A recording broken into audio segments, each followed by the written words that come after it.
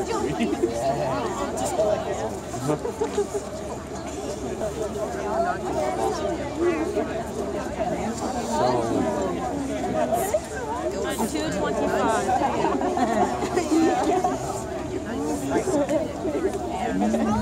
how long do you think it takes Hope Fire to get to your house if your house catches fire? So five minutes? Yeah. We are, because we activate by pager, we're going to play this the fair way today. We know everybody's a little bit cold right now, so we're going to do this as fast as we can. But we want you to see how things roll out in real chronological time. So what we're going to do is we're going to ask the two firefighters to make, and assume you guys, in fact, I think they're wanting to, to apply and be on the fire department with us. What do you think? As soon as you turn 18, come and see me, all right? That's it. That's a promise. We're always looking for firefighters.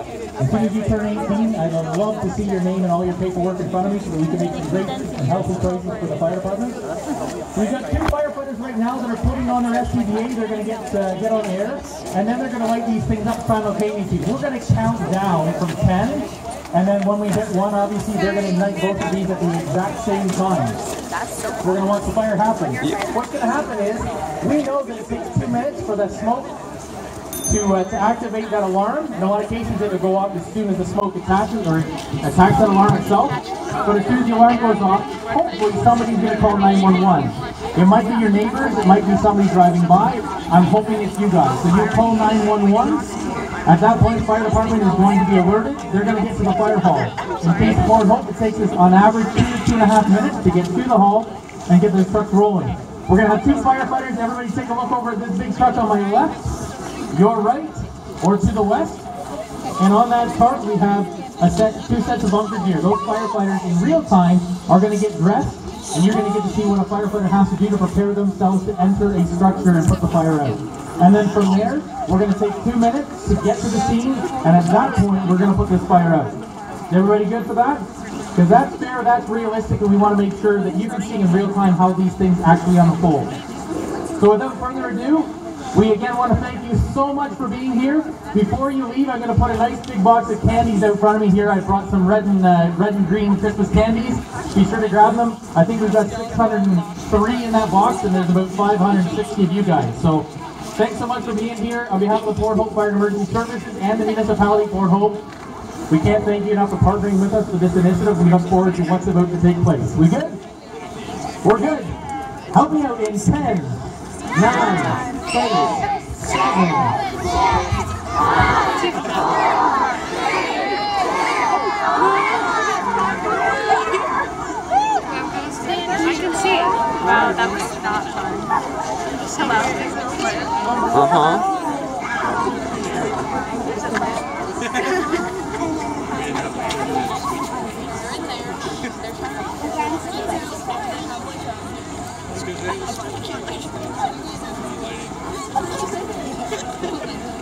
Not on fire yet.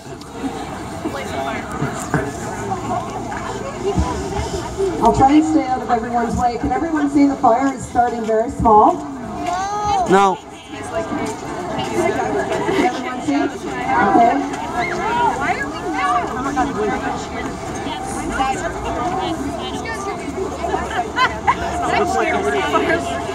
We had a little technical difficulty in the other cell, but we will get that fire going. You can see the fire starting to grow. Fires grow and they double in size every minute. You can see the smoke that's starting to come up from the one fire in the cell here. Yeah, I see something red. You can see the grapes and other things in the room starting to move. Oh, we have our smoke alarm going. Can you hear that? So that's how quickly the smoke alarm goes. Right now, what we would want you to be doing, if you were in your home, in your bed, we want you to be making your way out of the home. If you're behind the door that's shut, we want you to feel the door, see if it's warm. If it is, that does not go out that door, go out your second exit. If you can go out your main exit, do so.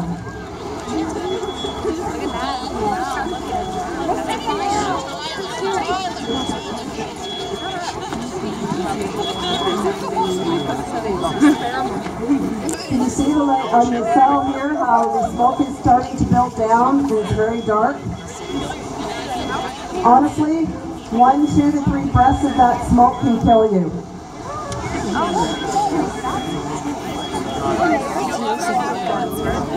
It's burning.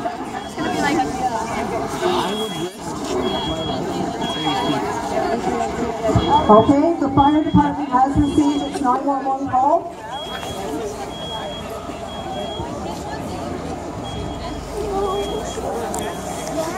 I hope they don't take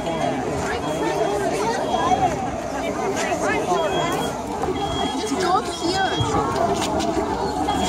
I'm short.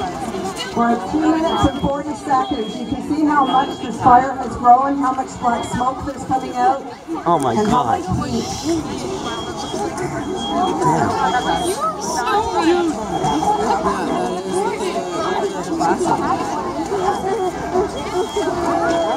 So all this is happening. The fire department's got the call, and they're responding to the hall. They're not even on the truck yet. Oh my god. Okay, the firefighters have now arrived at the hall, and if you look over to the fire truck, they're starting to put on their gear, getting ready to respond. Can you feel the heat coming off of that?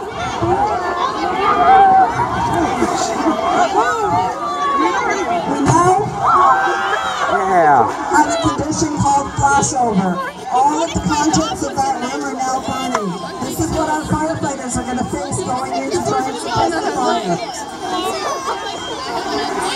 Of. The sprinkler in the other unit has just activated. You can see the water pouring out.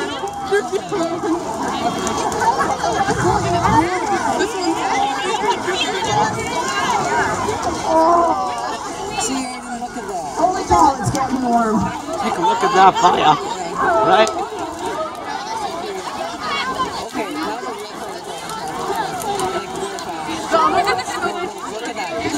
Can. Back up a little bit.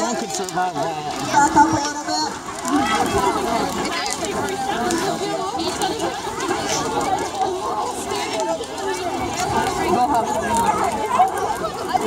Department arrived on the scene. They're now getting ready to put out the fire.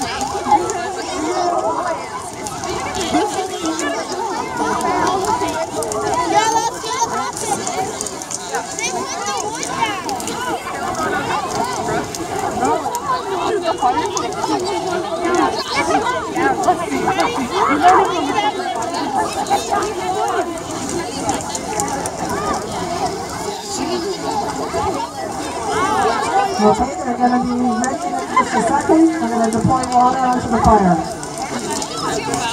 I want to see the water go.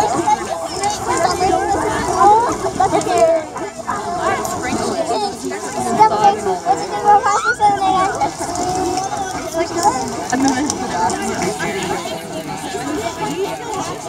Oh, and then what's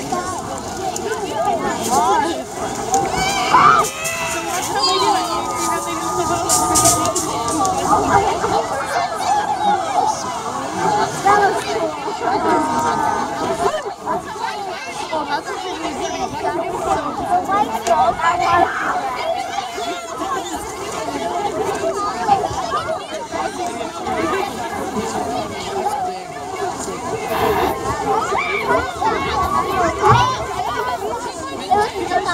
at this point, from a fire department perspective, we now say that the fire that the fire is under control because the amount of firefighters we have on scene and the apparatus that we have on scene is enough to be able to put this entire fire out.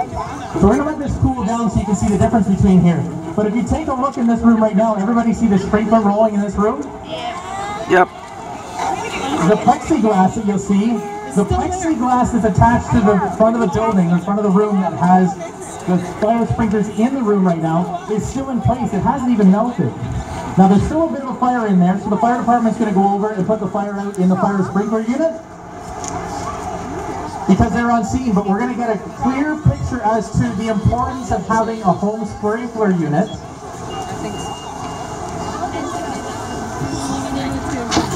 We'll put that baby fire out. And ladies and gentlemen, that is what seven minutes looks like right there. Can you see the difference in seven minutes from not having a working smoke alarm and not having a home sprinkler system and what actually takes place? So before we start just waiting for this to cool down a little bit so you guys can take a, those awesome pictures, we're going to ask at this point, can you put your hands together for the firefighters here today? Yeah.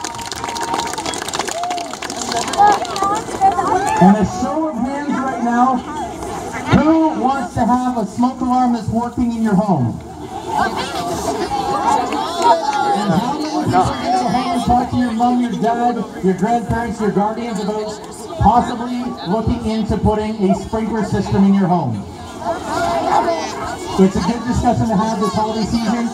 We want to wish you on behalf of the Port Hope Fire Emergency Services a very Merry Christmas and a Happy New Year. Hopefully we don't have to see you for the wrong reasons, but for whatever good reason, we invite you into our hall, and we hope that uh, you guys have an amazing December. Thanks